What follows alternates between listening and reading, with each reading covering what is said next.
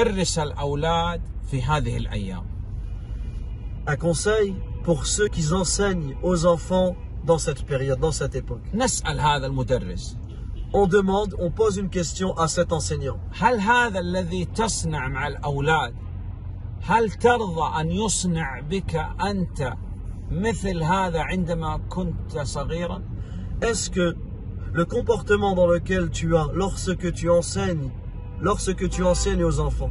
Est-ce que tu aurais accepté, quand toi tu étais enfant, qu'un enseignant ait le même comportement que toi?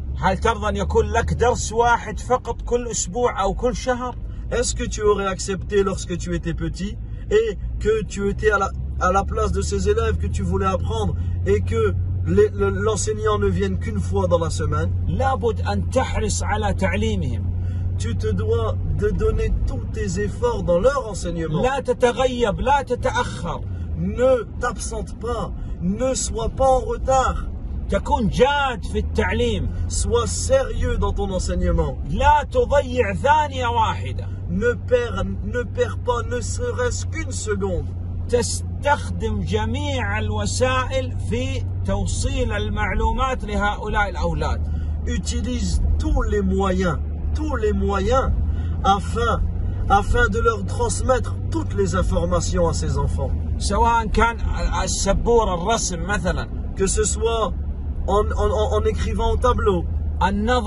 Que ce soit en leur faisant montrer des choses. Que ce soit en écrivant, en leur faisant écouter les choses تتابع الأولاد حتى في بيوتهم Tu suis les enfants jusqu'à même lorsqu'ils sont chez eux, tu les suis, tu leur donnes les devoirs. أنت مؤتمن على هؤلاء Car tu es, tu es celui, yani tu es responsable de ces enfants. لا تكثر عليهم يعني الفنون تقول مثلا ندرس كذا كتاب كذا وكذا وكذا لا قليل دائم خير من كثير منقطع Ne leur donne pas trop d'informations en leur donnant beaucoup de choses à faire, beaucoup de livres à étudier. Mais le peu qui est régulier est meilleur que beaucoup, mais temporaire. يعني بعض الأساتذة هدانا الله وإياهم يعني يثقل على الطلاب كتب كثيرة جدا أو كبيرة Certains enseignants rendent la, ta- rendent la tâche lourde à certains élèves en leur donnant beaucoup de choses à apprendre. أو مثلا يعني يعطيه قليل جدا لا خير الأمور الوسط Et d'autres ne vont quasiment rien donner. Alors que non, les meilleures des choses sont celles qui sont au juste milieu.